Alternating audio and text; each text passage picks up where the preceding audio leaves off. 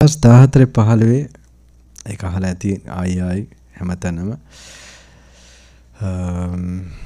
ඒ වෙච්ච සිදුවීමයි. ඊට පස්සේ දැන් මම ඒක ආවේ මොකද? එන ගමකුත් මතකුණ මේ ප්‍රින්ස්ටන් හරිය නේද පින්වත්නි? මොකද මෙහෙට තමයි එන්න හිටියේ අවුරුදු 18 දී එතකොට තමයි මට ඇත්තටම අර ඒකේ බිල්ඩින් උත් දිය වෙලා යනවා දකින්න පටන් ගත්තා. වැඩිම කාලයක් තියෙන්නේ ඒ බිල්ඩින් එක තාමත් ඇති තව අවුරුදු 50 60 100කටත් තියෙයි හැබැයි ඒවත් මෙහෙම දිය වෙලා යනවා පේන පෙවුනොතින් පින්වතුනි. ඒකයි මං නිකම්ම නිකන් කියවුණා අපි දැන් වාහනේ එනකොටත් මේ පිනිද්දියක් වගේ මේ චූටි වෙලාවක් කියලා මේ මහත්තයට. සමහරට මේ මහත්තයා බලන්න ඇති මොකද හාමුදුර කියන්න ඇත්තේ. ඒක සමහරට ෆීල් වෙනවා එකපාරට. මොකද්ද මේ? ඒක එකපාරටම ෆීල් වෙනවා පින්වතුනි.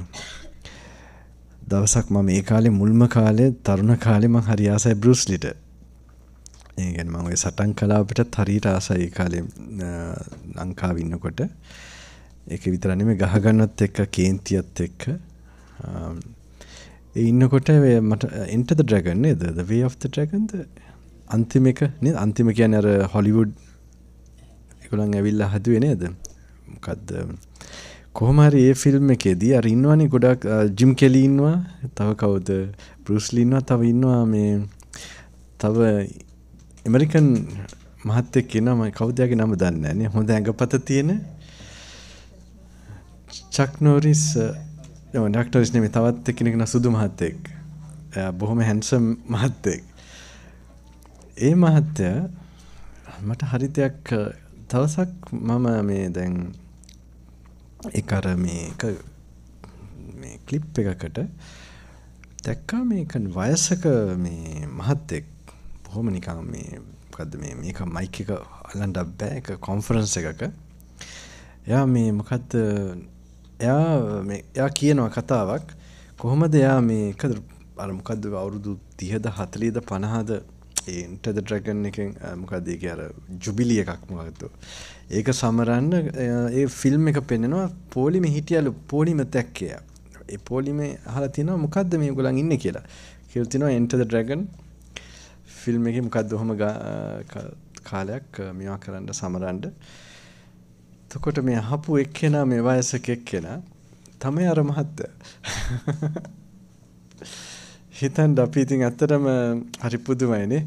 දැන් මම දැන් අපි බෲස්ලි කියලා හිතනම මේ පින්තූරෙන්මනේ හිතන්නේ අද හිටියනම්. ඒ කියන්නේ හැරමිටි ගහගෙන හරි ඉන්ට්‍රස්ටිං බැලුවම හිතනකොට දැන් අපි ළමයිුත් එහෙමයි. සාමාන්‍ය අපේ ළමයි වුණත් අර පොඩි කාලේ ස්වීට් එකට දැකපු විදිය තමයි ඉතින් ගොඩක් විට දැන් මගේ අම්මට මං කියනවා මේ සමහරට ඇඟක් නැති ශානක කෙනෙක් හිතන්න පුළුවන්ද කියලා කියන්නේ. ඉතින් ඒගොල්ලන් හරි අකමැති එහෙම හිතන්න. හිතන්න බෑනේ.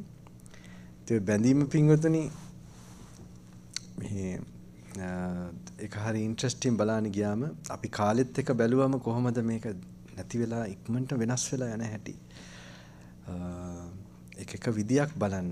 මේ අනිත්‍යතාවය එක විදියක්. හැබැයි අනිත්‍යතාවය වෙන විදිවලින් අවබෝධ වෙන මට්ටම් තියෙනවා.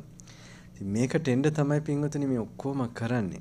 මේ ඥානය මේ අවබෝධය Tamanට වැටහුණොතින් මුළු ජීවිතේම ජයගත්තා වගේ වෙනවා.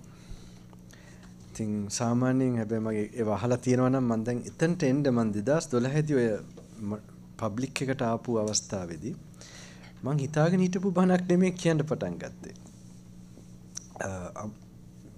මට පස්සේ තමයි තේරුනේ දැන් අදත් මල්ලි කෙනෙක් ඇහුවා මගෙන් හිටපු තැන හාමුදුරු කොහොමද මේ කරුණු එහෙම මෙහෙම දැන් මේ කාලෙට තියෙන ඒවා එහෙම ඔබ වහන්සේ මමත් හිතුවේ නෑ තමයි. ඉතින් මං හැබැයි මහ මල්ලි කිව්වා මේ ඔක්කොම අහන්න එපා මල්ලි මගේ පොඩි රහසකුත් තියෙනවා ඒ ටිකට. ඒක මම කරුණු මේ කාලෙට ගැලපෙන්න කිව්වේ නැත්තම් තේරුමක් නෑනේ.